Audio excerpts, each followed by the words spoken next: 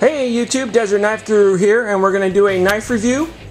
And this knife is coming in a box here, in this black box with the white letters. It says, for those who serve for professional use. And it is model 2903 Folding Hissatsu, made by Columbia River Knife and Tool.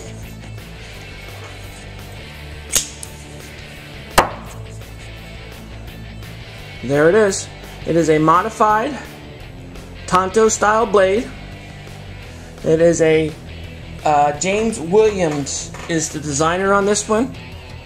Um, it has a Teflon coated black blade.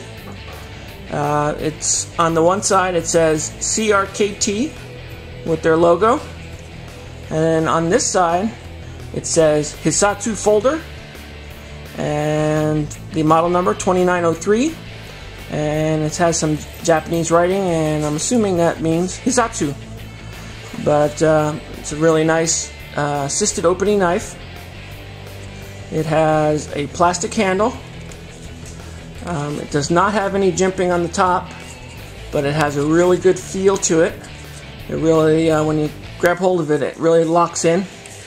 It has a pocket clip which is either for uh, tip up right hand or tip up left hand carry.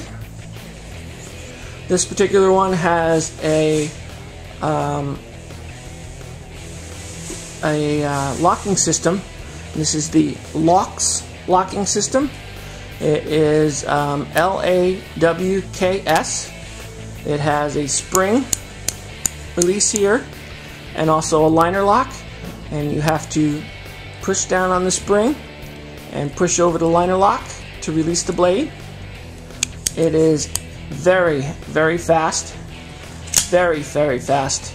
Um, it has nasty, nasty tip on it. I mean, this tip, as you can see, it's went in the wood with any, not much of effort whatsoever. Um, this knife is on loan from a friend of mine. Um, he asked me to do a review on it. Some of the specs on this particular one is blade length is a little over three and three quarter inches long.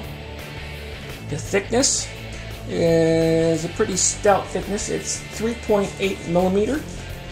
The steel on the blade is an AUS 8 or an OS 8. Um, the handle length is 5 inches. The overall length is 8 and 3 quarter inches. The weight for a folder is a little stout for a folder. Uh, a little stout for uh, EDC blade. Um, size is right, but the weight is a little off. It's 5.8 inches. Um, it really has um, a really good feel to it. The the locking system takes a little bit to get used to because if you have the um, regular liner lock, you're uh, pretty easy, pretty easy for you to uh, open it one-handed. But uh, when you get to two, there you gotta you gotta practice it without closing it down on your thumb. But uh, it has a really good feel to it. Um, you can see the um, torsion bar in there. If you can see it or not. It's closed. Let me open it up. You can see it. Torsion bar in there uh, really kicks the blade open. It does have um, dual thumb stud, kind of shares the uh, top of the blade, and I think that's uh, typical for this design. The um, I think purpose, I mean, it, yeah, I think it would be a pretty good slashing blade, but um, I think if you want to stab something, I think that would really do the trick. Um, the handle is really good. It's pretty stout. The um, feel overall is uh, pretty decent. The uh, retail price of this one is um, $99.99, 100 bucks.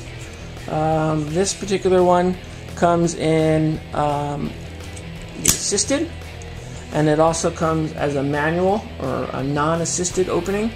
The model number for that one is 2903Q.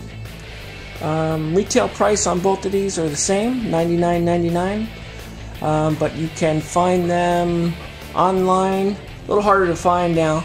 Not everybody's carrying them, but you can find them online for I would say 50 bucks, 55 dollars, something like that. Uh, if you search around. Um, I guess it was pretty popular a while back. It's not as popular, but uh, it's it's a decent knife. Um, I like to think the um, uh, steel could be a little bit better, but uh, I guess AUS-8, it's decent.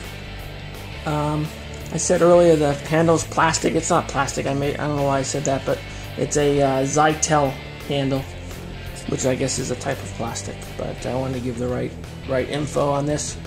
Um, so that's my review, and I hope everything was uh, satisfactory. But if you have any questions, let me know, and I will talk to you later. Thanks. Bye.